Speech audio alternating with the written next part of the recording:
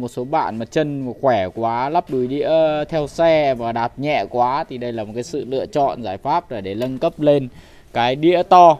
Đĩa này là đĩa oval 60 nhá. Cái con này thì sử dụng BCD là 110 hoặc 130 BCD là gì là đường kính của các cái con ốc này này nếu mà vòng tròn này là 130 hoặc là 110 thì chúng ta sẽ thay được luôn, thì chúng ta không phải thay đùi. Chúng ta mua đĩa không phải thay được. Cái con đùi ở ờ, cái đĩa oval này à, cái dòng đĩa nó rất là hay, nó gọi là yên méo.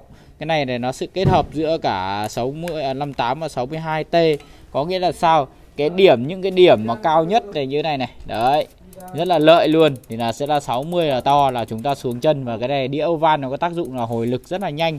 Hồi lực rất nhanh thì cho chúng ta đạp thì nó sẽ khỏe hơn, nhanh hơn nhá.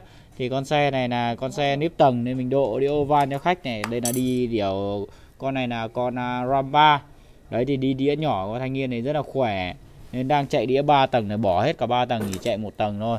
Và sử dụng à, 8 tầng. Con này thì nó tương thích cao nhất là 10 tầng clip ờ, đều ấy quay thử cho anh em xem cái điêu van là sẽ như nào sang kia.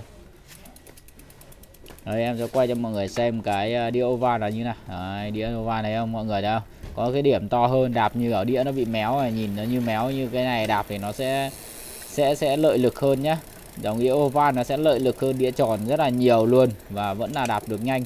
Như này là đạp bao phê bao sướng. Các anh chị nào mà chân khỏe quá chân voi thì là có thể nâng cấp con đĩa oval này nhá con này lắp được cả MTB và road nói chung là các cái xe mà tầm 7 8 à, 8 9 10 tầng nào đều chung.